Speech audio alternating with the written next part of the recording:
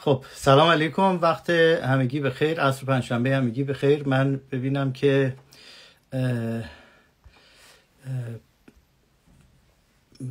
آقای میرزا وزیری آنلاینه یا نه؟ خب.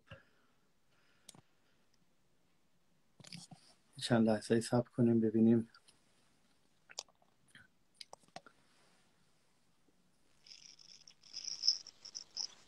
بله داریم فصل بله سلام علیکم. سلام چطوری؟ خوبی؟ قربانتون مرسی زنده باشی. خب من من که سلام یه بار دیگه عرض کنم خدمت اونایی که ما رو تو جمع می‌بینن. خیلی خیر مقدم میگم که آنلاین دوباره از به ما پیوستید از این ور دنیا و اون ور دنیا از لندن و مشهد و بقیه جای دنیا. امروز پنجشنبه نوع بهمن. در خدمت شما هستیم با بحث برای ناتمامیت ریاضی. خب من میکروفون میدم دست مجید تا مجید بحث شروع کنه بعد منم اون وسط یه چند تا سوال می‌پرسم. آره. ببین دارش تو راجع به ناتمامیت چیزی قبلا شنیدی؟ چیزایی خوندی؟ ببین اون چی که من در ناتمامیت شنیدم و می‌دونستم آره تماش همه اون چیزایی که مال دوره لیسانس همه که مربوط به اهل دقیانوس میشه و تقریبا به طور کامل فراموش کردم. ولی اون چی که یادم هست اینه که کورت گودل میگه که ریاضیات همیشه ناتمام باقی میماند. یعنی هیچ وقت به ترخط نمی‌رسه این فهم خیلی بیسیک ساده خیلی عوامانه است که من از ماجرا دارم. ولی جزئیات ماجرا رو بهتر می‌تونه توضیح بدی. پس من سلام ارز کنم خدمت کسایی که اومدن. خیلی ممنون که تشریف آوردین. وقت گذاشتین که این موقعیت برای ما قرار دادین که بتونیم صحبت کنیم. من داریوش این پیشنهاد رو داد که راجع به ناتمامیت صحبت کنیم و ریاضیات که تمام شدنی نیستش. یه ذره مقدمه لازم داره من قبلش بگم تا بعد به خود مسئله ناتمامیت بپردازیم. من همیشه اینجوری سر کلاسایی که معمولا با بچه هایی هستش که می‌خوام یه مقدار پایه‌ای تر ریاضی رو بهشون بگم بعضی درس هستش که بیشتر استدلالی هست کمتر درس محاسباتی هستش. اینجوری بحث رو شروع می‌کنم که فرض کن ما یه جعبه داریم به اسم جعبه ریاضیات و این جعبه کاملا خالی هستش و می‌خوایم شروع کنیم به پر کردن. می‌خوایم تو این جعبه یه چیزی داخل این جعبه قرار بدیم که بعد بتونیم راجع به مسئله ریاضی صحبت کنیم راجع به حلش صحبت کنیم و بتونیم حلش کنیم. یعنی این سه چیز خیلی مهم هستش که اون جعبه واجد این ویژگی ها باشه که بشه سوالی رو مطرح کرد بشه قابلیت حل یه سوال رو داشته باشه و اینکه بتونیم حلی برای یه مسئله ارائه بدیم. اگه بخوایم این کارو بکنیم یه جعبه اینجوری درست کنیم چی و اول باید داخل این جعبه قرار بدیم؟ فرض کن خالی خالیه. نه من ریاضی بلدم نه تو ریاضی بلد هستی. فرض کن. اینجوری هستش که یه جعبه کاملا خالی هستش. می‌خوایم شروع کنیم این جعبه رو به پر کردن. اولین چیزی که باید تو این جعبه بذاریم چی هست؟ چی فکر می‌کنی که بذاریم به عنوان اولین چیز؟ ممکنه مثلا فکر کنی که یه چیز درست رو قرار بدیم که بتونیم بهش یه دستاویزی داشته باشیم. مثلا این می‌تونه یک شروع باشه می‌تونه می‌تونه حتی عقبتر برگردیم یه چیز دیگه ای رو بذاریم. مثلا بعضی از بچه الان نوشتن که اعداد رو توی اون جبر بدیم. تو فکر می‌کنی که چه چیزی در جعبه ریاضیاتمون؟ جعبه ریاضیاتمون کاملا خالی خالی فرض کن که مثلا ما برای کسی که هیچی از ریاضی نمی‌دونه می‌خوایم شروع کنیم خیلی مستحکم ریاضی رو براش شروع کنیم به گفتن. حالا به نظر من ساده ترین چیزی که به ذهن آدمی می‌رسه اعداد طبیعیه. اعداد یعنی تو هم نظرت این هست که اعداد رو بذاریم توی این اعداد آره خیلی کلیدیه. چون اصلا هم هم تو سطح شهودی هم تو سطح خیلی انتظایی تر خیلی با عدد سر سر کار داریم. یعنی مجموعه ها و نظریه اعداد و تمام مسائل هایی که به نحوی به ریاضی مربوط میشه یه جایی دست و پاش می‌رسه به عدد. حالا لابد اشتباه می‌کنم. یاد یه خاطره افتادم. یاد یه خاطره افتادم. یه جایی رفته بودم من دعوت کرده بودن که سخنرانی کنم. بعد اونجا شهرش سالن سخنرانی و اینا نداشتن یه سینما رو گرفته بودن که سخنرانی کنیم. و خواسته بودن که مثلا اون روز بعد از ظهر فیلمی اکران نشه که ما بتونیم اون چند نفر بودن که مثلا می‌خواستن صحبت کنن. یکی از اون افرادم من بودم.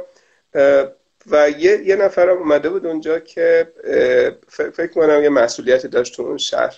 یا آقای روحانی بود نمی‌دونم مسئولیتش چی بود اون شهر. ولی جزو افرادی بود که خیلی خیلی مثلا قابل احترام بود توی اون شهر. و من گفتم که شما اول صحبت کنین.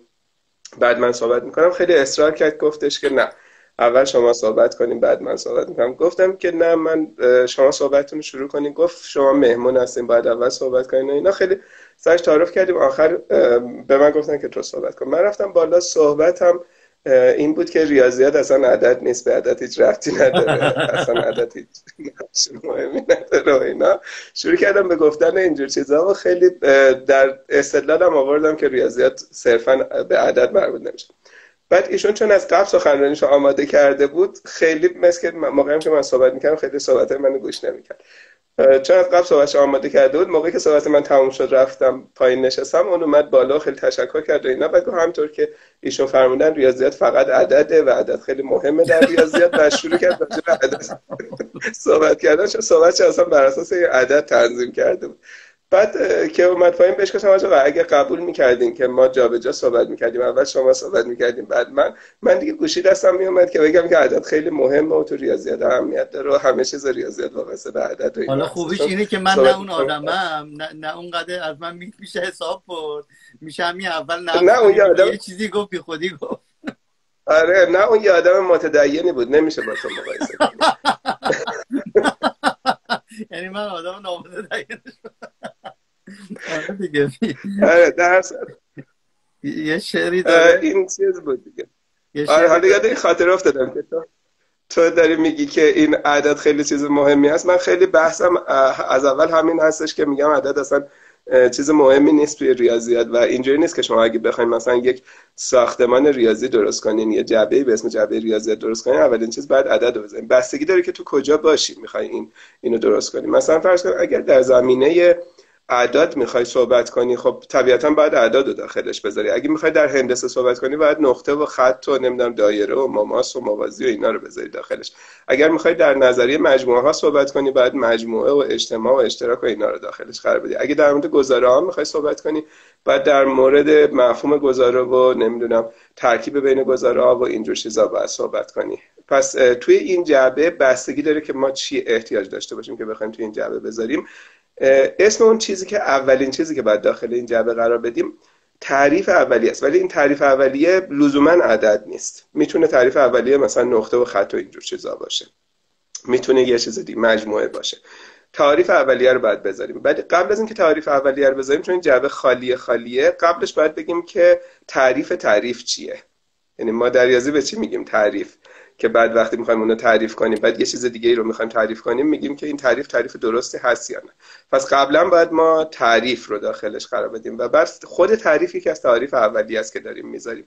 و این دچار تسلسل میشه. اگه هی بگیم که مثلا من اینو تعریف می‌کنم بعد وابسته میشه به یه تعریف دیگه باز اون وابسته میشه به یه تعریف دیگه و الی آخر. بنابراین یه سری چیزا رو به صورت اولیه باید بپذیریم. یکی از اونها مفاهیم مفهوم تعریف اولیه هستش.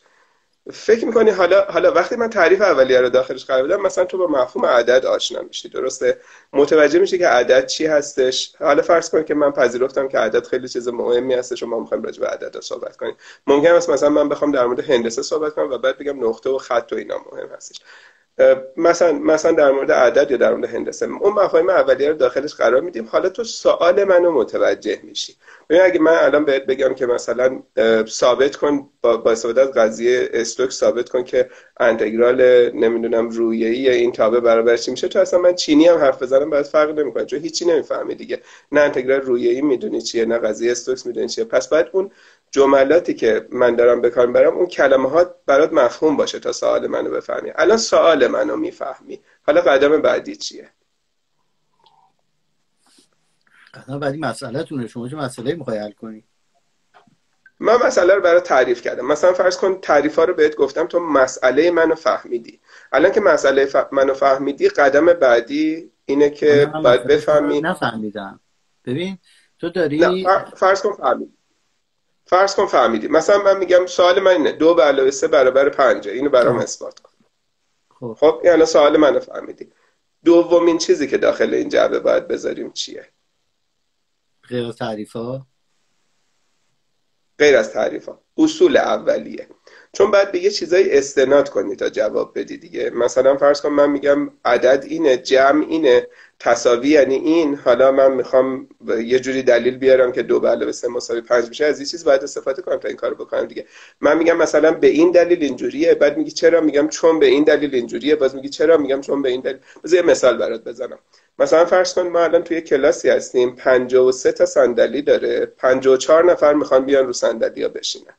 من بهت میگم که دلیل بیار برای من که این 54 نفر جا نمیشن میگه خب جا نمیشن دیگه 54 نفر 53 تا صندلیه میگم نه خب یه دلیلی بیار میگه خب 54 از 53 بیشتره میگم که خب چرا 54 از 53 بیشتره یه دلیل برام بیار میگه 54 53 بوده که بهش یه چیزی اضافه شده و وقتی یه چیزی اضافه میشه به یه عدد بزرگتر میشه بنابراین 54 بزرگتر از 53 میگم خب من قبول کردم که 50 و 54 بزرگتر از 53 چه دلیلی داری که 54 نفر تو 53 تا صندلی جا نمیشن؟ میگه خب نمیشن دیگه 54 نفر اون 53 میگن نه خب دلیل چیه؟ میگی که یه اصلی هست در ریاضیات بهش میگن اصل دانه کبوتری که اگه تعداد کبوترها بیشتر از دونه باشن جا نمیشن. به یه چیزی باید استناد کنی. به این میگن اصول اولیه.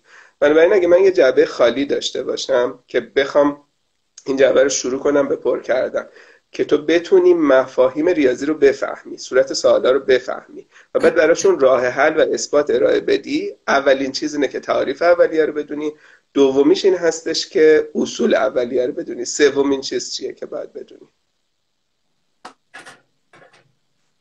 تعریف اولیه اصول اولیه دیگه چی؟ آفرین. همین که گفتی درست می‌دونم. الان گفتی دیگه. درست. درست گفتی آره. سومین چیزی که باید بدونی قواعد نتیجه گیریه. ما طبق چه چیزی می‌تونیم از یه جمله یه جمله دیگر نتیجه بگیریم؟ اینم باید تو جعبه بذاریم.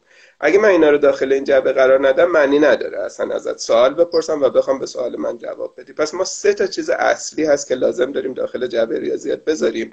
تعریف اولیه اصول اولیه و قواعد نتیجه گیری حالا من می‌تونم انتظار داشته باشم. سوال منو بفهمی و می‌تونم انتظار داشته باشم که بگی می‌تونی دلیل بیاری براش جواب بدی یا نمی‌تونی دلیل بیاری. اون دیگه بستگی داره که اون سوال چجوری باشه. ولی حالا موجه هست. این که ازت بپرسم برای این دلیل بیار. این فعلا جعبه ریاضیات ما.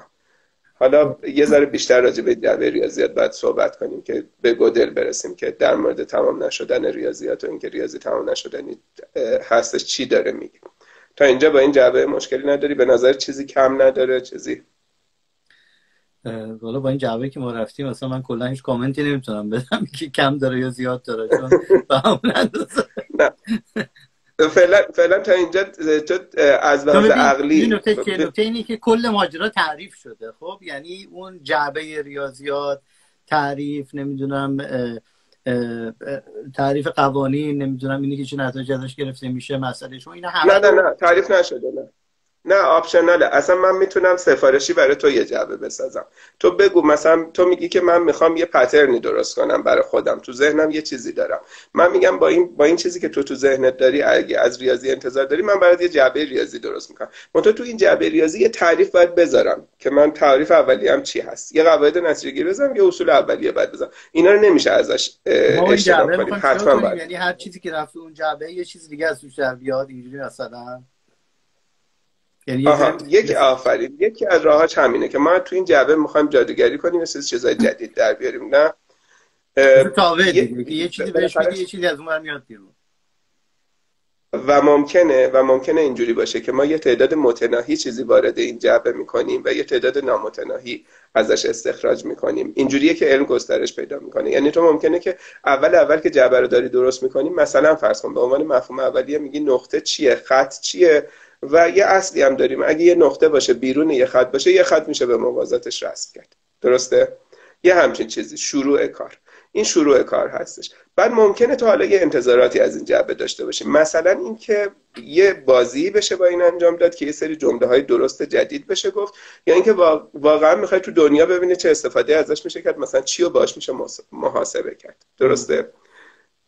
ولی به حال ما یه جعبه حالا فرض کن مصنوعی. یه جعبه داریم درست می‌کنیم. این جعبه رو من می‌خوام بهت بفروشم. تو اومدی سفارش جعبه دادی. من میگم داخل این جعبه. من تعریف اولیه اصول اولیه و قواعد نتیجه گیری رو به صورت کاملا وی آی پی برای تو می‌ذارم. یعنی هر که تو انتظار داشته باشی من برات قرار میدم داخل این جعبه. حالا مسئله دو تا مسئله خیلی مهم اینجا پیش میاد که این جعبه که من دارم بهت میدم سالم باشه که داری پولش رو میدی و از من می‌خری. چه گارانتی وجود داره که این جعبه سالمه و سالم خواهد موند؟ دو تا نکته هست که خیلی مهمه که باعث میشه که این جعبه سالم باشه و سالم هم بمونه. نکته اول این جعبه نباید تو خودش تناقض داشته باشه. درسته؟ چون اگه من دو تا جمله که تو خودش تناقض داره نداره. فرض کن من یه آدم بیرونی ام. یه چیزی از شما خواستم شما رفتی برای من این جعبه ساختی. من چجوری می‌تونم بفهمم که اون جعبه داره یا نداره؟ آره این خیلی سوال مهمی است. ولی بذار یه اسم براش بذاریم که این جعبه تو خودش تناقض نداره. اینکه تو خودش تناقض نداره میگیم سازگار جعبمون یعنی من نیومدم دو تا جمله بپذیرم به عنوان اصل اولیه که این دو تا جمله در نقیض هم دیگه است. یعنی از یه طرف بپذیرم. مثلا فرض کن دو دو تا میشه چهار تا. از یه طرف دیگه بگم دو دو تا میشه پنج تا. از یه طرف دیگه بگم چهار و پنج هم با هم دو تا عدد متفاوتن. یعنی این دو تا یعنی, یعنی دو تا گزاره همزمان دو تا گزاره متفاوت همزمان صحیح نباشن. دو تا دو تا گزاره متناقض هم همزمان صحیح نباشن. درسته. خب حالا این میشه سازگار بودن. ولی سوال اینه. ببین یعنی یک نیاز اینه که جواب consistency ه دیگه آره. آفرین. آفرین. مسئله اینه که باید سازگار باشه. سوال اینه که چجوری میشه اثبات کرد سازگاره. این دو تا چیز مختلفه. ببین تو اومدی از من جعبه رو بخری. اومدی در مغازه ما میگی من یه جعبه VIP ریاضی می‌خوام که براش مثلا تو فلسفه می‌خوام ازش استفاده کنم تو جای دیگه می‌خوام استفاده کنم. این جعبه که به من میدی با این مشخصات به من بده که اولا سازگار باشه. من میگم خب من این جعبه رو دارم میدم سازگار گارانتی هم می‌کنم تا پنج سال سازگاری داره. میگه که خب چجوری برام اثبات می‌کنی که سازگاری داره؟ ضمنا هم نباید زمان داشته باشه دیگه تا ابد باید سازگار باشه. روش اثبات اینکه یه جعبه سازگاره خیلی خیلی ساده است. البته زمان خیلی زیادی برده در تاریخ ریاضیات تا متوجه شدن که چجوری این کار رو انجام بدن ولی خیلی مسئله ساده ایه اگه من یک جمله ای رو در این جعبه بگم و دلیل بیارم که این جمله اشتباهه. دلیل بیارم که این جمله اشتباهه پس اون جعبه سازگاره. چرا آره. چون اگه اون جعبه توش تناقض داشته باشه هر چیزی رو میشه باشه یه جمله یه بار دیگه بگو ببین من یک جمله ای برات مثال بزنم تو این جعبه و بتونم اثبات کنم که این جمله درست نیست خب. درسته بتونم اثبات کنم که این جمله درست نیست تو می‌تونی نتیجه بگیری جعبه من سازگاره. چرا؟ چون اگه جعبه من سازگار نمی بود و حاوی دو تا چیز متناقض می بود پس من یک مقدمه متناقض داشتم. از مقدمه متناقض میشه اثبات کرد هر چیزی درسته. به یه, به, یه, به یه تعبیری اگه بخوایم اینو به زبان فلسفی بگیم مثل ابطال ناپذیریه دیگه که نشون بدید تحت چه بله. شرایطی یه گزاره نادرسته. درسته.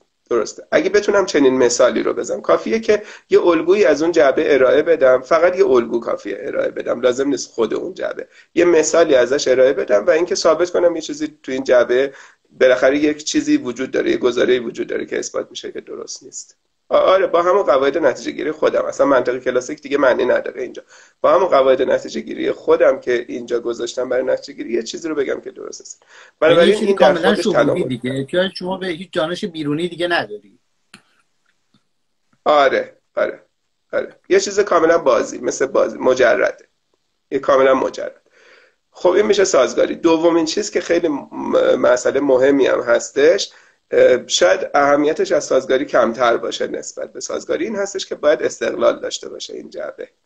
یعنی چی؟ یعنی اینکه اگر من یه چیزی رو میگم درسته در مورد اولین چیزی که میپذیرم درسته هیچ مشکلی نیست. در مورد دومین چیزی که میپذیرم درسته این سوال برات ایجاد میشه. چرا اینو میپذیری درسته؟ چرا نمیری دلیل بیاری که درسته؟ شاید بشه از اون اولیه دلیل بیاری و نتیجه بگیری.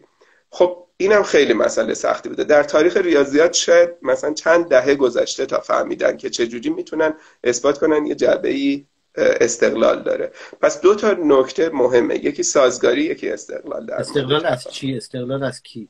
استقلال از ناظر خودش استقلال درونی استقلال درونی داشته باشن. خود گزاره هایی که داخل جعبه مستقل از همدیگه باشن. نه همدیگه رو نتیجه بدن اصول اولیه.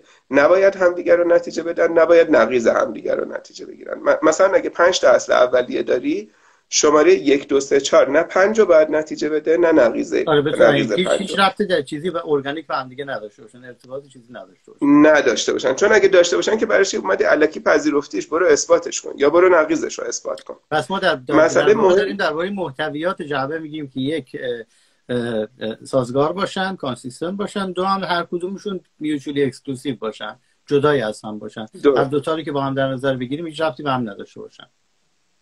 آره یعنی مسئله وقتی پیچیده تر مسئله وقتی پیچیده تر میشه که تعداد اینا زیاد بشه. مثلا تو فرض کن تو این جعبت شاید لازم داشته باشی که مثلا 20 تا جمله اولیه درست قرار بده که پذیرفتی درسته. این 20 تا هر 19 تاشو که می‌گیری باید اون 20 میه رو بگی مستقل از اینه و خیلی کار پیچیده ای هست این کار. این چیزی بوده که در تاریخ زیاد بشه دیگه تبدیل به یه چیز غیر ممکن میشه تقریبا. نشون دادن آره. تک تک اینا اصلا چیزا مستقل آره. این مثلا کاری بوده که وقتی که اقلیدس اومده اصل اول و دوم و سوم و چهارمش رو گذاشته افراد خیلی مشکلی باش نداشتن. به پنجمی که رسیده گفتن تو برای چی میگی این اصله؟ برو پنجمی رو از رو چهارتای دیگه اثبات کن. کاری که خیام سعی داشته انجام بده که این پنجمی از رو چهارتای دیگه نتیجه میشه. و بعد خیلی سعی داشتن اثبات کنن. پنجمی نتیجه که نمیشه هیچی. نقیزش هم نتیجه نمیشه.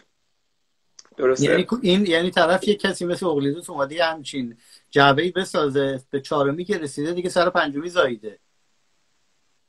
آها آها. و و نتونسته دیگه مشکل برطرف یا چند قرن هم شاید طول کشیده تا اینکه بالاخره تونستن اثبات کنن که جعبه که اولس درست کرده جعبه خوبی بوده. و میشه وقتی که میگیم یه جعبه خوبه یعنی میشه هر گزاره ای رو ورداری به جاش نقیزش رو بذاری بازم یه جعبه درستی میشه. خب. برای همینه که هندسه ناقوبسی هم به وجود اومده. خب حالا مسئله این هستش که به این, به این جعبه یه جعبه دیگه. دیگه دیگه. اون جعبه همون, همون جعبه نه یه جعبه دیگه است ولی همون جعبه. با همون محتویات یه گزارش رو برداشتی یکی دیگه به جاش گذاشتی. فقط آره. یه دونش رو عوض آره میشه یکی متفاوت ولی همونه قواعد نتیجه گیری همونه. اصول اولیه رو یکیشو برداشتن یکی دیگه به جاش گذاشتن. که همون اصل پنجم هندسه اولسی هستش که برداشتن یکی دیگه گذاشتن. حالا اون یکی دیگه هم که گذاشتن شما می‌تونی این چارتای دیگر هم به طور کامل عوض کنی. یه چارتایی بذاری بعد تعداد رو همجوری اضافه کنی و به این تناقض نخوری و بتونی بری جلو. آره آره آره آره. حالا این مقدمه رو اگه گرفتی خیلی خوبه. به خاطر اینکه حالا می‌تونم وارد این صحبت بشم که گودل چی گفته. چون این مسئله خیلی مهمی هستش. خب پس مسئله اینه. آره یه اسم بس... خوبه تا اینجاش خوب داری تعامل می‌کنی. تعامل خوب اومدی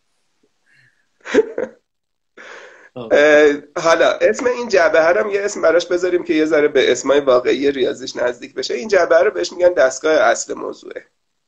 دستگاه اصل موضوعی. درسته؟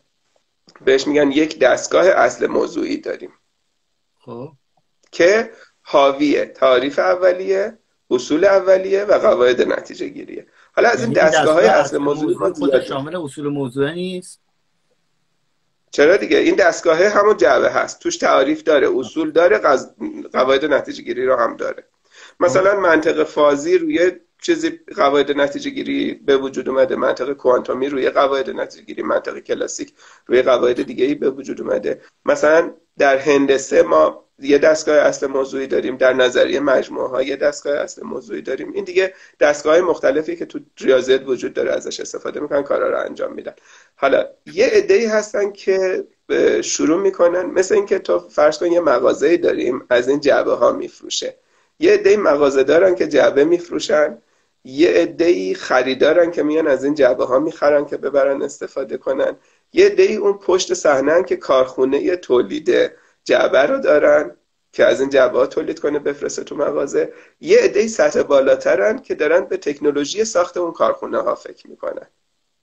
تو زیر زمین خب. فناوریش از پیدا می‌کنن که تو زیر زمین آره فناوریش رو دارن انجام میدن.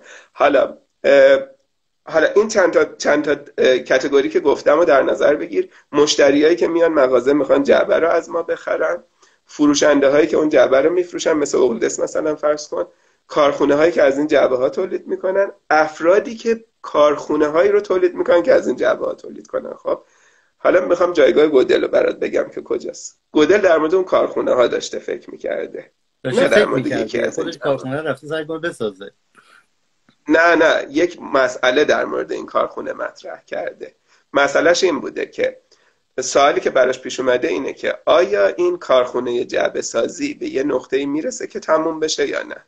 یعنی هی جعبه درست کنه هی اصل اضافه کنه از این اصل جدید بذاره توش و اینا به یه جایی برسه بگه دیگه هر سوالی که بپرسین با این جعبه تموم میشه حل میشه دیگه کامله همه چی.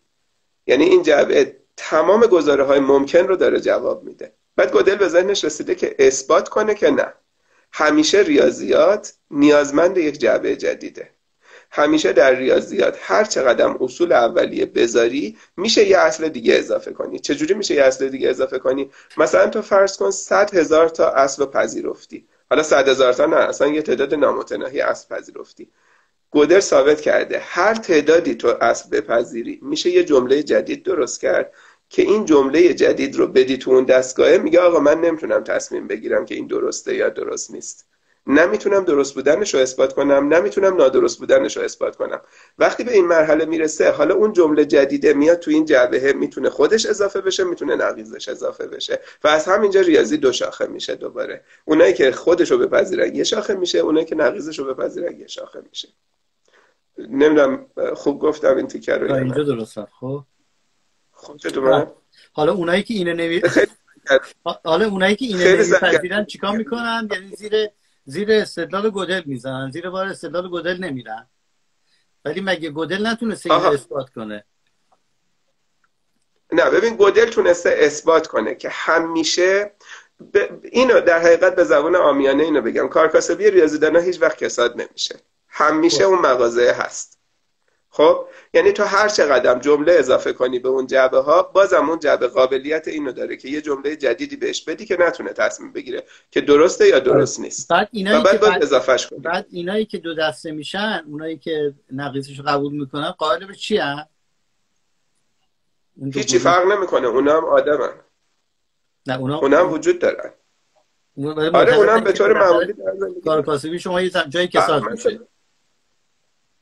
اونم داره استفادهش می‌کنه. ببین هندسه اقتصادی وجود داره هندسه ناقدسی هم وجود داره به موازات هم دیگه داره پیش میره. هر دوتاشون وجود داره هیچ کدوم نمی‌تونیم بگیم که کدوم واقعیت دنیای ماست کدوم نمی‌دونم چیزه. چون قانون اون قانونای اولیه که گفتم باید درست باشه. قانون اولیه که گفتم چی بود؟ تعریف اولیه اصول اولیه قواعد نتیجه سازگار باشه مستقل باشه. این اگه درست باشه دیگه تمام هیچ مشکلی نداریم.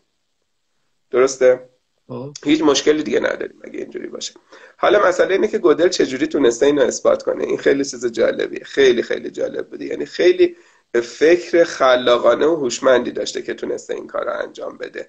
که ثابت کنه. تو هر جعبه که اصلا نمی‌دونه چیه. مثلا فرض کن هنوز جعبه تولید نشده. میگه اگه قرار باشه یه جعبه تولید بشه. تو اون جعبه مثلا یه میلیون تعریف بذارن. نمی‌دونم یه میلیارد اصول اولیه بذارن قواعد نتیجه هر چی بذارن. من یه جمله جدید دوباره درست می‌کنم تو همون جعبه با همون ابزارهای خودت با همون تعریفهای خودت.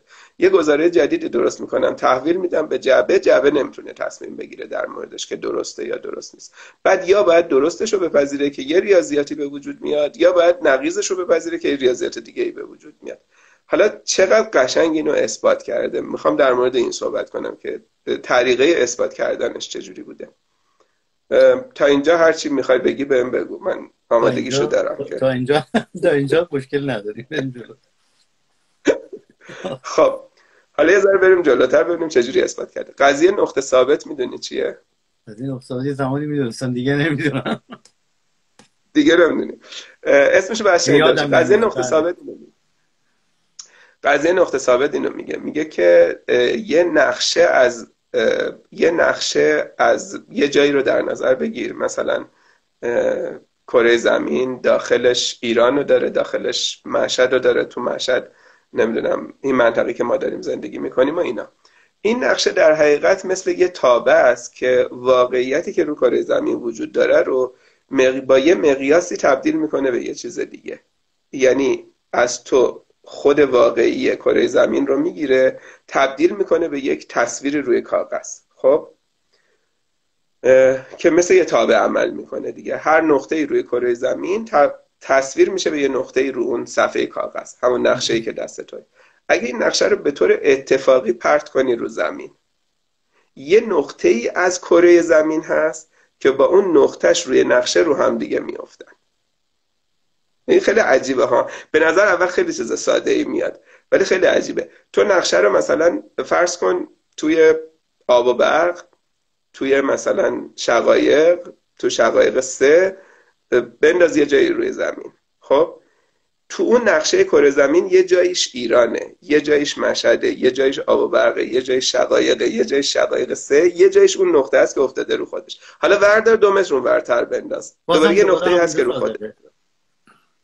بازم همون صادقه. یه نقطه هست که رو خودش میفته. به این میگن قضیه نقطه ثابت. درسته؟ به این میگن قضیه نقطه ثابت. قضیه نقطه ثابت تحت یه شرایطی شقایق شیش. آره، میگه شقایق شیش. که میاد داره تذکر میده. قضیه نقطه ثابت تحت شرایطی میگه تابع نقطه ثابت دارن. حالا نقطه ثابت یعنی چی؟ یعنی اینکه خودشو که می‌گیره به خودش تبدیل می‌کنه. خب حالا بذار بگم که به بیان گودل چه اتفاقی میفته گودل اومد این کارو کرد. گفتش که فرض کنین ما یک جعبه ریاضیات داریم. در این جعبه ریاضیات یه تعاریفی رو گذاشتیم. با این تعاریف یه سری گزاره ها رو بیان می‌کنیم. بهش میگیم قضیه. برای این قضیه ها یه سری برهان هایی میاریم. درسته؟ یه سری برهان هایی میاریم. اینا رو می‌تونیم تناظر براشون ایجاد کنیم همه رو به عدد تبدیل کنیم. اینجاست که حالا اون جمله اولیه تو که میگی تو ریاضیات عدد مهمه مسئله مهمی میشه. میشه تمام قضیه های ریاضی رو به عدد تبدیل کرد. و این عدد کارش چیه؟ قضیه ازت می‌گیره یه تاب است. ازت قضیه می‌گیره بهت برهان تحویل میده. مثلا میگی 236 میگه 4521 یعنی قضیه ای که 236 راه حلش اگه می‌خوای بدونی میشه مثلا 4521 خب؟ مثل کد دیگه. حالا کد ازت می‌گیره یه چیزی ازت می‌گیره با, با این یا یا یا دیکودش یا این این روش کدگذاری روش کدگذاری گودل بوده که تونسته ریاضیات رو تبدیل کنه به اینکه هر هر چیزی که هر حقیقتی که تو ریاضی ما داریم مطرح می‌کنیم به یه عددی تبدیل میشه و برهان اونم به یه عددی تبدیل میشه و این یه تابعیه که از تو توی ورودیش یه عدد می‌گیره خروجیش هم یه عدد میده.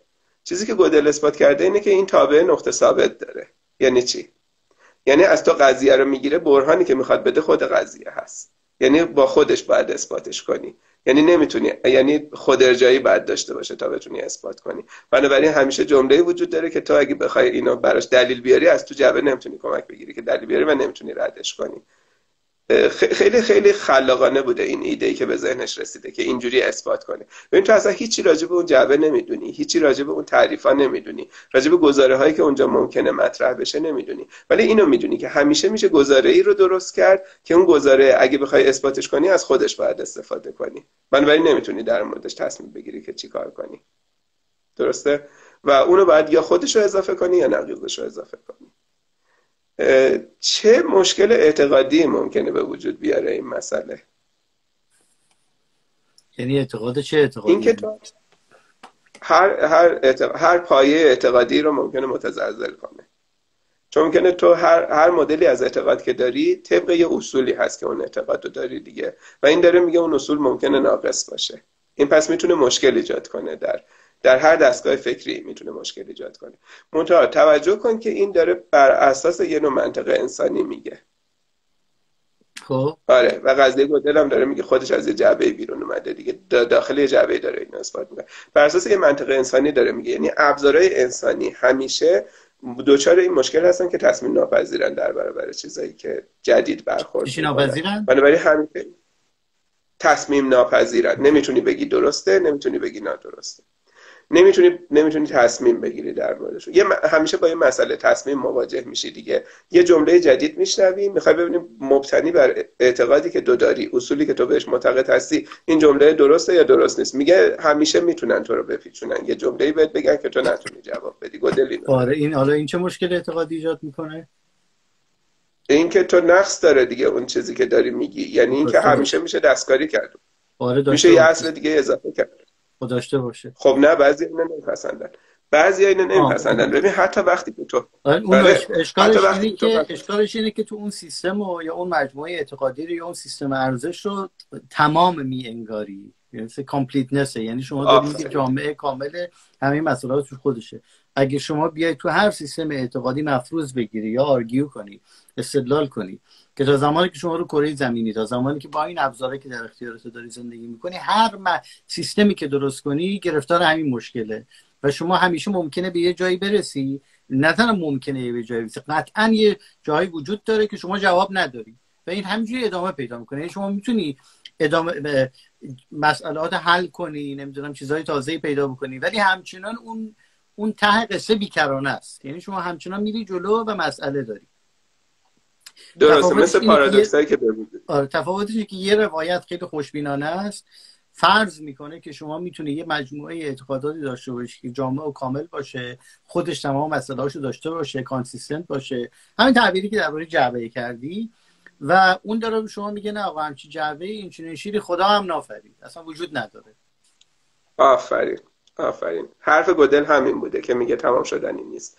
بنابراین میشه به دو دید بهش نگاه کنی. یه دید که خیلی می‌تونه لذت بخش باشه این هستش که ریاضیات هیچ وقت تمام نمیشه. چون همیشه تو می‌تونی یه چیز جدید رو ریاضیات داشته باشی قابل قابل فکر کردن باشه. یعنی همیشه هر چقدر که ریاضیات پیشرفت کنه همیشه چیزی هست که ریاضیات باید بهش فکر کنه و جواب بده و نمی‌تونه در برابرش تصمیم بگیره که چیکار کنه. این یه دیدگاه خوبه. یه دیدگاه دیگه که از اونور بهش نگاه کنی اینه که مسئله ناتمامیت رو به عنوان یه ضعف در نظر بگیری. و بگی که خب پس من هیچ وقت به کمال نمی‌تونم برسم دیگه. حتی در ریاضی که اینقدر مستحکم هستش من نمی‌تونم یه دستگاه فکری داشته باشم که کامل باشه.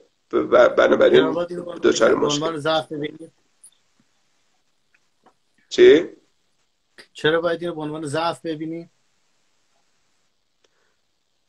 من به عنوان ضعف نمی‌بینم. افرادی می‌تونن می‌تونن به عنوان ضعف ببینن. این کامل نیست. ببین تو یه دستگاه فکری داری به یه عده ارائه میدی که این دستگاه فکری کامل نیست. این می‌تونه یه نقص محسوب بشه برای این دستگاه. چون همیشه تو باید ببریش کارخونه دوباره یه کاری بکنه به تنظیماتی برات انجام بده. طرف ممکنه اینو نپسنده که همیشه باید یه کسی برات یه کارایی رو انجام بده. دیگه آقا نون منو بدید من برم دیگه. و من دیگه نیام اینجا پیش شما. دقیقا دقیقا. آره. برای همین هستش که مشکل ایجاد می‌کنه. ببین بذار برگردیم جریان گالیله رو می‌دونی دیگه. جریان گالیله چی بوده واقعا که تکفیرش کردن؟ یعنی گالیله چه مشکلی داشته؟ حرف علمی که زده. حرف علمیش به کجا برمیخورده که باعث شده تکفیرش کنه؟ من با, با اون برداشت قبلی که شما یه فهمی از علم داری که جواب همین مسئله پیش ماست. منی که به ارسطو و افلاتون ارجاع میدم و نهاد کلیسا جواب تمام مسئله رو دارم هیچ اشکالی هم درش وجود نداره. شما اومدی به ما میگی که داری میگی غلطه. شما اومدی حقانیت خب رو سوال اصلا اصلا همه اینا رو ول کن. گالیله میگفتش که خورشید مرکز منظومه شمسیه زمین نیست. این چه مشکلی برای کلیسا ایجاد می‌کرده؟ به خاطری که نظام اعتقادی کلیسا سازگار بوده با نظام کیهان شناسی بطلمیوسی در نتیجه اگه اونو دست خب. می‌زدی این ورم می‌رفته رو هوا. هوا رفتنش از کجا بوده؟ ببین هوا رفتنش به نظر من این بوده که اونا می اومدن اینجوری می‌گفتن توی کلیسا. استدلالی که می‌کردن این بوده که زمین مرکز عالمه کلیسا مرکز زمینه کشیش مرکز کلیساه و چون اینقدر مرکزیت داره حق داره بهش جهنم خرید و فروش کنه. حق داره مثلا بیاد به تو پول بگیره بهت بهش بفروشه نمی‌دونم فلان کنه این کارو بکنه. اگر این مرکزیت زمین از بین می‌رفت و خورشید به عنوان مرکز تلقی می‌شد اتفاقی که میافتاد این بود که کارکاسبی اونا کساد می‌شد. یعنی درسته که مسئله مسئله علمی بود ولی نتیجهش یه نتیجه بود که به, به درآمد اونا صدمه می‌زده. و چون مسئله بله. پول در بین بوده دیگه نمی‌تونستم بگم. این تا قصه واقعا همینه. چون اینجا فقط مسئله فلسفی یا نمی‌دونم مسئله معرفتی صرف که نیست که تو تمام این موارد یه نتایج سیاسی داره یه نتایج اقتصادی داره. یه نتایج برش بار میشه کارکاسبی یه دیگه سات میشه. بله. ولی اصل قصه هم چون همونی که هستی که من دارم میگم وقتی شما اومدید این مثل میمونه که و کاملا هم بستگی به این داره که اون کشیشی که اونجا نشسته چقدر خودشو در مقام تمامیت می‌بینه. خب؟ اگه کشیشه بگه حالا مثلا دو متر از این قلم رو ما از دست رفت رفت. اشکال نداره. یه چیز بزرگتری هست که میشه خب اون قربانی کرد. ولی اون حاضر نبوده. از یه اپسیلونش دست بکشه. می‌دونی؟ میگه آقا اینی که هست همش مال منه بیشترش هم تازه مال منه. شما بیخود می‌کنی یه اپسیلون خودت برداری. برای همین بوده که مسئله گالیله که مسئله علمی بوده به یه مسئله تکفیری تبدیل شده. یعنی بردنش تو کلیسا گفتن که اینجا بیاف رو زمین و چیز کن عذرخواهی کن سجده کن بگو که زمین مرکز عالمه و من اشتباه کردم غلط کردم اینا. میگن که گالیله همون جایی هم که رو زمین افتاده بوده دستش رو زمین گذاشته بوده گفته من ببخشید من اشتباه کردم و اینجوری. در گوش زمین گفته زمین خودمونیم من و تو که می‌دونیم که مرکز نیستی. حالا اون بذار بگن دیگه اون هرچی میگن من ترسم مجبورم که قبول کنم که تو مرکز عالم هستی اینا. بعضی وقتا یه همچین چیزایی پیش میاره. حالا مسئله ناتمامیت گودل هم همینجوری هستش. اینکه ریاضیات تمام شدنی نیست برای کسایی که معتقد به ریاضیات هستن ممکنه که جنبه خوبی داشته باشه. کسی که متعصبانه معتقدن به ریاضیات ممکنه که نتیجه خوبی داشته باشه ممکنه که نتیجه بدی داشته باشه. نتیجه خوبش این هستش که چقدر عالی ریاضیات تمام نمیشه. همیشه ما می‌تونیم کار کنیم قضیه اثبات کنیم چیزای جدید بگیم دستگاه جدید درست کنیم بفروشیم کارخونهمون همیشه رواج داره کار کاسبیمون ادامه پیدا می‌کنه و اینا. یه دیدگاه دیگه هم این هستش که چقدر بد. ما اینی که درست کردیم پس هیچ وقت تموم نیست یه چیز ناقصی درست کردیم. یعنی ناتمامیت تو می‌تونی به معنی یک چیز ابدی و بی انتها به معنی مثبتش بگیری. ناتمامیت رو می‌تونی به عنوان نقطه ضعف بگیری به معنی یه چیزی که نقص داره. تمام نیستش. هر, هر دو تا برداشتش می‌تونه از این مسئله ایجاد بشه. بستگی داره کدوم برداشتش داشته باشی و چقدر با اون تعصبی که داری در, در تناقض باشه. درسته. خب حالا اگه همینو بخوای به یه حوزه دیگه ببری. این یه کتابی قبل از این که ما تصمیم بگیریم در این حرف بزنیم مجید به من گفتش که برم ببینم این کتاب اسمش از گودل اشر باخ و بهش میگن ان ایترنال گولدن برید یعنی مثل یه در هم تافته طلایی همیشگی. بعد نویسنده درباره سه تا کاراکتر حرف می‌زنه. یکیشون گودل یکیش اشر یکیش باخه. خب باخ موزیسیانه گودل ریاضیدانه. اون اشر هم من نمی‌دونم چیکار است ولی نقاشی اشعه رو باید دیده باشید آره بزن نقاشی اشعه رو باید دیده باشید این این طرح جلد کتابه. البته یه طرح جلد دیگه هم داره. کتاب؟ آه این تبلتته. آره.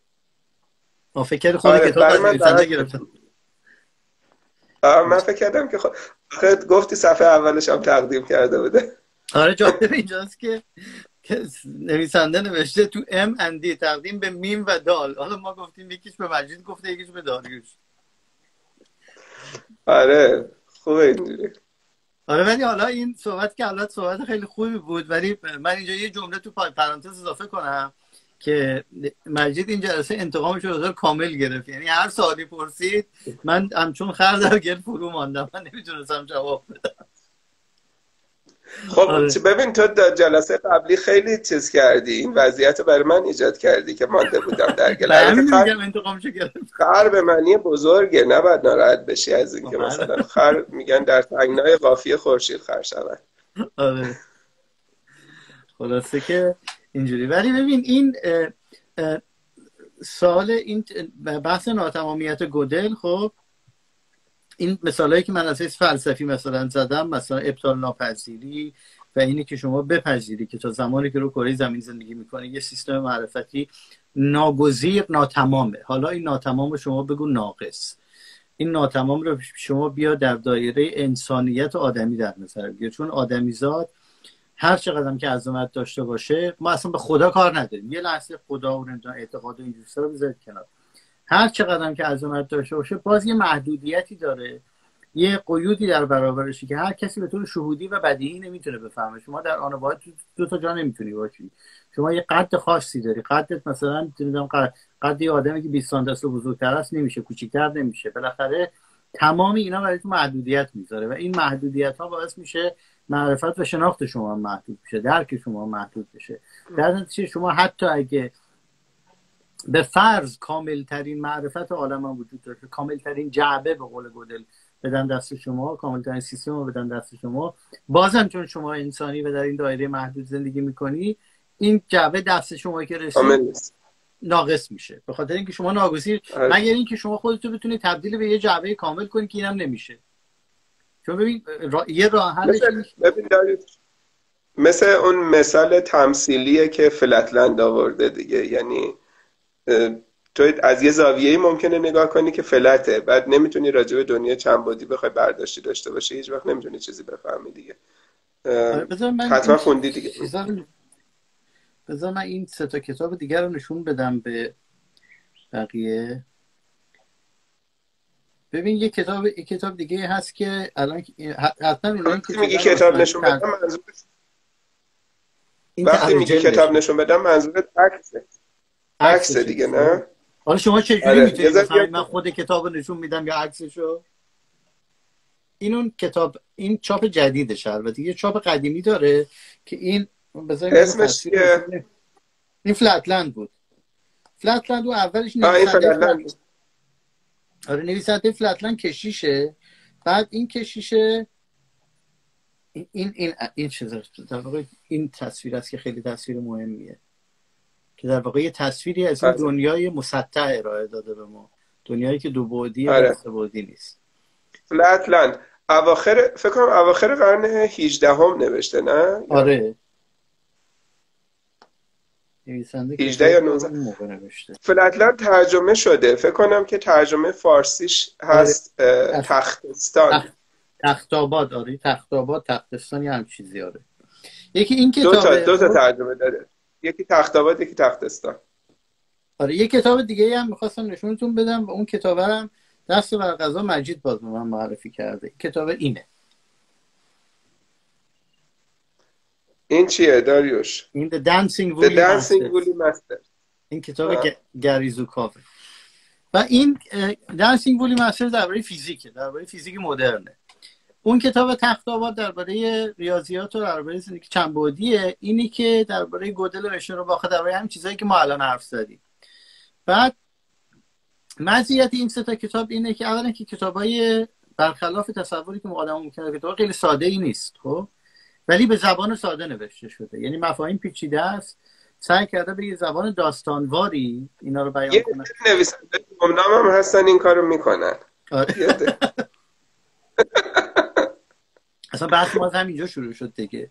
که شما چجوری می‌تونی این مفاهیم علمی رو حالا اینجا مثلا به طور خاص ریاضی و فیزیک دیگه چون ریاضی و فیزیک عملا توی حوزه علوم محض و نمی‌دونم علوم مادر و اینجور چیزا تلقی میشن. به یه زبانی برای مردم بیان کنی که مردم اینو بتونن بفهمن یا بتونن راحتتر باش ارتباط برقرار کنن. حالا تختابات ترجمه شده اون دو تا کتاب دیگه فکر گمان نمی‌کنم ترجمه شده شده کسی به فارسی اینا ترجمه کرده باشه. اونو من نشنیدم نه. اون هم دو تا ترجمه داره. فکر کنم یکیش تختستانه یکیش تختاباده آره دو من تا ترجمه آره. تختستانش خیلی ترجمه سنگینیه. خوندنش یه ذره سخت. آره. آره خلاصه به این چیزی که می‌خواستم اینجا این ادامه بدم که اون نقطه ای که ما گودلمون با ناتمامیتش به فلسفه و علوم انسانی مربوط میشه. چون علوم انسانی ظاهرا به زعم بعضی ها خیلی گله گشادتر و بی حساب کتابتر و بی در پیکرتره میگن شما در ریاضی می‌تونی چنین و چنان بکنی ولی در علوم انسانی نمیشه.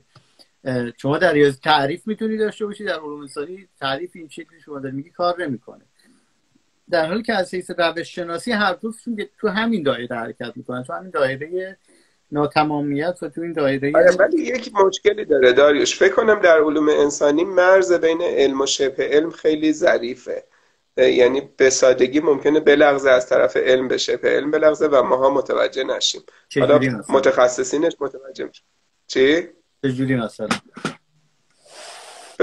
کسی که متخصص باشه میفهم. در مورد ریاضی خیلی ساده تر میشه فهمید که این نفر ادعا می‌کنه که مثلا ریاضی بلده یا اینکه واقعا ریاضی بلده با مثلا نیم اگه, صحبت اگه مثلا من ریاضی بلد نباشم اجرایی ندارم برای که بفهمم که طرف داره پرت پلا میگه یا پرت پلا نمیگه. نه نه پیش یه متخصص که بری پیش یه متخصص که بری متخصص تشخیص میده. ولی در مورد علوم انسانی فکر می‌کنم تشخیصش توسط متخصصینم. یه مقدار به سلیقه خودمون متخصصین بسته نه به سلیقه بستگی نداره. اونجا هم اتفاقا همین مسئله وجود داره. اول دو تا نکته وجود داره. یکی اینه که شما تو علوم انسانی روش شناسی داری متدولوژی داری خب؟ و اینا رو شما بلاف مثل چیز دیگه مثل مثل لیتموس تست دیگه. بهش میگن چی؟ تست تورنوسول آره که تو فارسی میگن. که شما بلافاصله می‌تونی تستش کنی. یعنی شما به شما یه مقاله طرف یه مقاله نوشته یه ادعایی کرده. اولین چیزی که میسنجن اینه که متدولوژی آیا درست کار می‌کنه؟ کانسیستنت به قول شما هم چیزایی که شما داری دربارش میگی. بعد ادبیات بحث درست بررسی کردی. رو چه مبنایی داری حرف می‌زنی و از همه مهمتر همون معیاری که درباره گودل به کار می‌بریم درباره اینم میشه به کار ببریم مثل ماجرای استقلال. که شما داری یه مقاله می یه ادعایی داری می‌کنم مقاله رو بذار کنار اصلا بگو تئوری صادر می‌کنی. شما یه ادعایی می‌کنی. اگه من نتونم نشون بدم که تحت چه شرایطی ادعای من ادعای نادرستیه ادعای من غلط از آب در میاد اون موقع یه حرفی زدم که بی سر یه حرفی زدم که اصلا خوب و بد بودنش هیچ معنی نداره. میشه میشه میشه non-scientific به معنی دقیق کلمه. ولی سوال اصلی اینه که آره. ما می‌تونیم تعبیر علم رو به همون معنایی که در ریاضی و فیزیک به کار می‌بریم در علوم انسانی و علوم اجتماعی به کار ببریم. یادم مثل پوپر به ما میگه که بله می‌تونیم و باید هم این کار رو بکنیم. چون اگه نکنیم همون چیزی که تو داری میگی نتیجه میشه. اون چیزی که نتیجه میشه اینه که هر کسی هر ادعایی بی سر می‌کنه بعد میگه من حرف علمی زدم. اینکه تو برای که مچ طرف بگیری که طرف فرض پلا نگه حرف مفت نزنه باید یه قاعده بذاری و اصلش هم تعریف کرده. اصلش هم اصل دیمارکیشن نمی‌دونم تو فارسی چی ترجمه کردن اصل تمایز اصل تفکیک نمی‌دونم چی ترجمهش کردن. ولی شما اگه این معیار رو بذارید جلوش این معیار رو حل می‌کنه برای شما. که طرف شما میگه که شما آقا یه سری ادعا کردی اگر ادعایی که شما کردی ابطال ناپذیر باشه هیچ به درد من نمی‌خوره. یعنی مسئله رو حل نمی‌کنه. خودت خوشی واسه خودت چهار تا قول قول بازی کردی یا خودت خوشت میاد یه هم که از شما خوشتون میاد از اون حرفای شما خوشتون میاد. خب بریم با هم خوشید دیگه ولی مسئله رو حل نمی‌کنی. دردی رو دوا نمی‌کنی. چون اگه ابطال ناپذیر باشه مثل ابزار بی خاصیت میشه. درنچه از این جهت دقیقا به نقطه همپوشانی ساینس به معنی علوم دقیقه و علوم انسانی به این برنامه که گفتیم می‌رسیم اون کلید کلید طلاییش همین ترمینالوژی ابطال پذیریه. یعنی درست همونجاست که همه چی مشخص میشه. وقتی که به ابطال پذیری می‌رسی دیگه متوجه میشه آره دیگه میگه که قلب اگه نه نگاه کن الان الان نرم افزارها و اپلیکیشن هایی ساختن که مقاله می نویسه از طرف تو. یعنی خیلی راحت کلمه رو کنار هم دیگه می‌ذاره و مقاله درست می‌کنه. حتی هوش مصنوعی مثل دیپ فکر که الان اومده چیزا چهره تو رو می‌گیره باش نیم ساعت سخنرانی برات درست می‌کنه اینا می‌تونه مقاله هم مثلا از طرف تو بنویسه. ممکنه هم هستش که واقعا پیشرفت کنه و بشه با هوش مصنوعی این کار انجام داد. چیزی که باعث میشه که مشخص بشه یه چیزی علمی هستش که شبه علمه همین مسئله ابطال پذیریه میگه که این شعر به زبان شعر مولوی میگه که قلب پهلو می‌زند با ضرب شب. انتظار روز میدارد صحب که مزوری. چی میگه بعدش؟ سب کن تا برایت روز فاش ای مزور. بقیه شدم نمیاد. تو ممکن الان یادت بیاد ولی تعرفش اینه که میگه که اون چیزی که باعث تفکیک طلای تقلبی طلای واقعی میشه باعث تشخیص ایناست این نور خورشیده. این آفتاب که در بیاد شما می‌فهمی. تاریکی شما اینو نمی‌تونید بفهمید این معیار تشخیص. اون آفتابه اینجا همون اصل آفتابه نه آفتابه که برنده آن آفتاب همونی که بهش میگن اصل ابطال ناپذیری. یا در واقع معیار معیار ابطال پذیری یا فلسفیکیشن در برابر وریفیکیشن که البته از از نقطه مقابلش اینه که مردم برن از شیوه استقرایی استفاده کنن. حالا یه سوالی که من می‌خواستم بپرسم که به نظر من خیلی ربط داره اینه که شما توی این صورتبندی که گودل از مسئله ناتمامی ریاضیات به شما میده به استقرا استناد می‌کنید؟ یعنی مثلا گودل از استقرا استفاده می‌کنه یا نمی‌کنه؟ یعنی واقعا میره سراغ induction؟ نمی‌دونم یادم نیست. نمی‌دونم ولی خود در مورد استقرا هم یه مقدار ممکنه که تعبیرا متفاوت باشه که استقرا تعریف مختلفی از استقرا هستش. نمی‌دونم کدومی کیو میگه. همین استدلال استقرایی رو میگی که مثلا یه, یه چیزی رو گام به گام جلو بریم. تو کتابای درسی دیدم مخصوصا کتابای کتابای علوم انسانی دیدم که یک اشتباهی شده بین حدس استقرایی با اثبات استقرایی. حدس استقرایی قد شد. یه لحظه باید وایسیم تا بس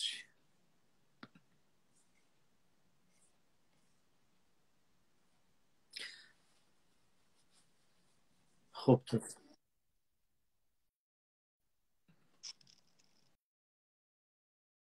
درست شد فکر کنم. آره. درست شد.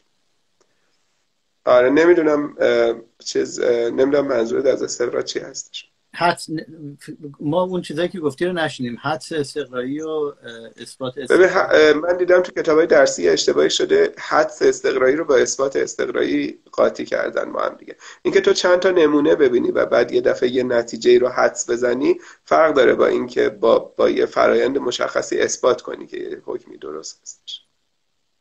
یعنی شما داری میگی که استقرا همیشه می‌تونه استقرار اگه شما بخوای اثبات کنی جواب بعدیش همیشه درسته.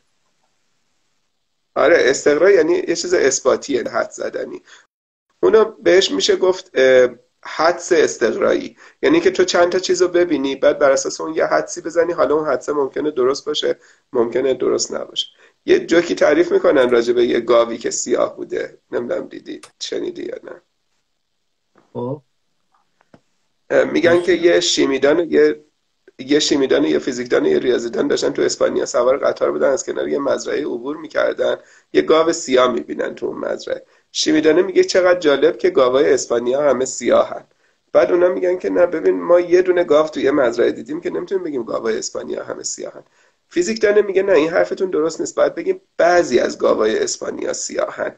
حالا همهشو که ما نمی‌تونیم نظر بدیم. ریاضیدانه میگه نه شما خیلی دقیق صحبت نمی‌کنین. میگن چی باید بگیم؟ میگه باید بگین در اسپانیا حداقل یه مزرعه وجود داره که در مزرعه حداقل یه گاو هستش که اون گاوه حداقل نصفش سیاهه. چون ما هنوز اون نصف اون ور گاوه رو ندیدیم. چون این فعلا به طرف ما واسطه ما نصفشو داریم می‌بینیم.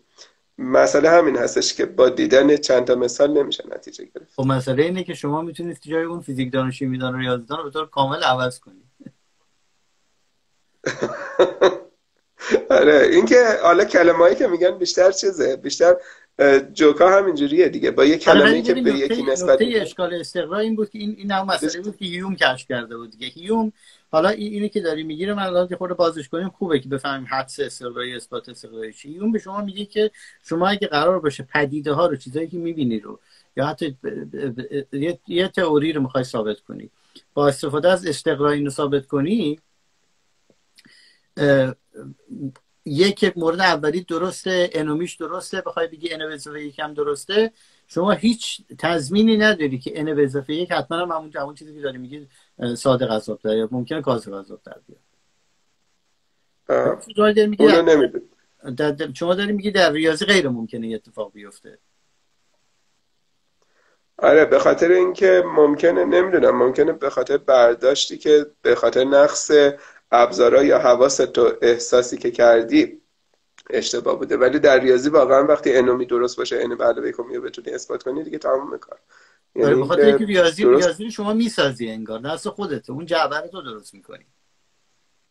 آره ریاضی در مورد حقایق صحبت می‌کنه نه واقعیت ها آه فرق حقیقت واقعیت چیه اون وقت؟ ببین حقیقت اون چیزیه که با اون قوانینی که تو خودت نوشتی درسته. واقعیت اونه که با قوانین دنیا درست باشه. ببین واقعیت امر ممکنه یه چیز دیگه ای باشه. خب می‌دونی که فلسفه این تفکیک قائل نمیشه بین حقیقت و واقعیت. خب این توی اون ریاضی که تو داری میگی و اتفاقا اینو احتمالا به توی ریاضیدان پوزیتیویست میگه که حقیقت و واقعیت با هم فرق دارن. فیلسوف خردگرای نقاد که ریاضیدان هم ممکنه باشه فیزیکدان هم ممکنه باشه و شما میگه که اینا تفکیک نیستن تفکیک پذیر نیستن اصلا. یعنی شما همیشه باید با این اصل استقرا با احتیاط برخورد کنید مثالی هم که می‌زنن اینه که این توی مصاحبه یک کسی اینو گفته بود گفته بودش که یه مزرعه ای هست یه مزرعه داری یه چیز داره یه بوغلمونی داره. هر روز صبح میره بهش چی میده؟ غذا میده دست نوازی سرش می‌کشه. هر روز صبح این انتظار این بوغلمونه اینه که این غذا رو بهش بدن و تحویلش بگیرن و نوازش کنن. یه روز را می‌رسه و اون روز روز مثلا جشن شکرگزاری مثلا آمریکایی یا مثلا کریسمس انگلیسی که مزرعهدار میاد گردن این بوغلمون رو می‌بره. یعنی اون یه روز برخلاف انتظارش از در میاد. اینجاست که استدلال استقرایی چیز بوغلمونه میره رو هوا. حالا شما این میگی بهش حدس آره. استقرایی خب؟ که طرف حدس آره آره آره.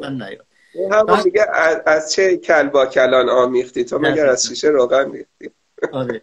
یا اینه که میگن که آره. نمی‌دونم بهش میگن بلک سوان مومنت یعنی شما همه نمی‌دونم قوا رو شمردی قوا سفید بودن بعد نتیجه گرفتی که قوا یه قوی دیگه قوی سیاهی وجود نداره. بعد یه قوی سیاهی که پیدا کنی آره. کلش میرزه میره رو نه اون به نظرم به نظرم اون به استقرایی که ما تو ریاضی میگیم خیلی ربطی نداره. چطور ربطی نداره؟ دارش من شارژ گوشیم داره شارژ گوشیم داره تموم میشه. نمی‌دونم که چقدر گذشته از زمان. یه ساعت گذشته الان یه تقریبا آره. حالا من اینو بگم تموم کنم. این به عنوان مسئله می‌تونیم باز نگرش داریم. اینایی که گفتی درباره مثلا گودل خودش به نظر من به یه وجهی همون مسئله استقرا رو نشون میده. یعنی اون سیستم استقرایی به شما میگفتش که این ریاضیات complete این complete نیست. گودل اومد در واقع اون اشکال تو استقرای ریاضی به ما نشون میده. حالا این سوال باز می‌ذاریم می‌تونیم بگیم نه آقا اینجوری نیست یا اینجوری هست. جای جای بحث می‌ذاره. آره آقای اسکندانی هم فکر کنم نوشت که گودل اصلا کجا اینو اثبات کرده؟ توی یه جعبه اینو اثبات کرده. خود اون جعبه ممکنه یه مشکلی داشته دیگه. یعنی ما به هر حال محدودیم به اون جعبه ها مثل مثالی که پوانکاره می‌زنه مثالی که توی فلتلند اومده مثال خیلی زیادی هست که نشون میده ابزارهای ما وقتی محدود باشه ما مشکل ایجاد میشه برامون. درسته؟ کاملا درسته. خب خیلی ممنون از همگی که اومدن با ما بودن. این یک ساعت رو و ممنون از مجید که وقت گذاشت به ما گودل یاد داد و ناتمامیت یاد داد. فکر نمی کنم هیچ کسی تو کره زمین بتونه به این سادگی به این راحتی این ناتمامیت رو یعنی من که من که پنج سال دانش دانشجو ریاضی بودم این تا امروزی که الان 20 سال از اون موقع میگذره نفهمیده بودم امشب فهمیدم. آره خیلی هم امیدوار نیستم الان فهمیده باشی. در اصل جلسه بعد ازت کویز می‌گیرم که مطمئن بشم فهمیدی با ولی جلسه بعد موضوع عوض, می... موضوع عوض می‌کنیم من انتقام می‌گیرم. من خیلی ممنون از همه کسایی که تشریف آوردن. تشکر می‌کنم که وقت گذاشتن. این مدت این مدت آدم وقت گذاشتن. خیلی مسئله مهمی هستش. الان من به این نتیجه رسیدم که بهترین چیزی که من خیلی دوست دارم اینه که با یکی وقت بذاریم با هم صحبت کنیم. چون این موقعیت از دست میره. الان هم خیلی احتمال خیلی زیادی وجود داره که مثلا با یه کسی که می‌تونستی تماس بگیری صحبت کنی باش احوالش رو بپرسی اینجور چیزا این موقعیت رو داره از دست میره. هی خبرهای مختلف از دست دادن آدم ها رو داریم هر روز میشنویم. برای همین موقعیت خوبیه که من یه بار دیگه تونستم با تو صحبت کنم. این ارزش داره و خیلی هم خوشحالم کسایی که وقت گذاشتن تشریف آوردن و وقتشون رو در اختیار ما قرار دادن و اومدن این یک ساعت از عمرشون رو به بتالت با ما گذروندن. دوباره ایشالا می‌ذاریم بهتون خبر میدیم و حالا می‌تونیم بریم خونه مجید میگیم مجید میگیم یه چایی می‌خوریم حالا. و مجید بله بله. چای خوردن نیست. روستای ما روستای ما تشریف بیارین. خوبه خیلی هوای خیلی خوبی داره و خیلی دلنشین خیلی من رو سیو می‌کنم و روی همین صفحه من خواهد بود و احتمالا دانلود می‌کنم توی یوتیوب هم خواهم گذاشت. مرسی خیلی ممنون. چون چند نفرم گفتن که ذخیرش کن. خیلی ممنون. خیلی ممنون. چند خدا. قربانت خدا خدا. خدا, خدا.